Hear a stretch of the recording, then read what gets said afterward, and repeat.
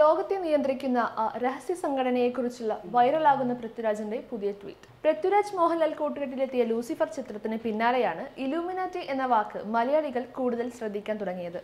ഏറെ നിഗൂഢതകളുമായി എത്തിയ ചിത്രത്തിൽ സ്റ്റീഫൻ നെടുമ്പള്ളി എന്ന മോഹൻലാൽ കഥാപാത്രത്തെ ഇലൂമിനാറ്റിയുടെ ഭാഗമാക്കിയാണ് പൃഥ്വിരാജ് കാണിക്കുന്നത്.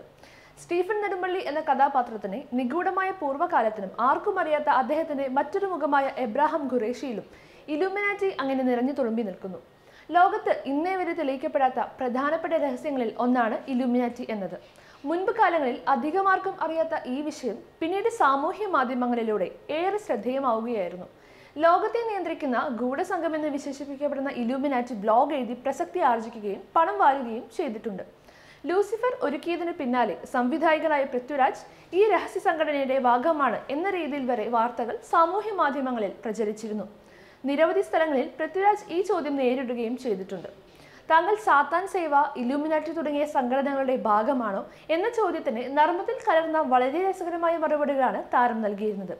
എന്നാൽ ഇപ്പോഴിതാ ഏവരെയും അത്ഭുതപ്പെടുത്തിക്കൊണ്ട് നടൻ പൃഥ്വിരാജ് ഇലുമിനാറ്റിയെക്കുറിച്ചുള്ള വലിയ രീതിയിലുള്ള പരാമർശം നടത്തിയിരിക്കുകയാണ്.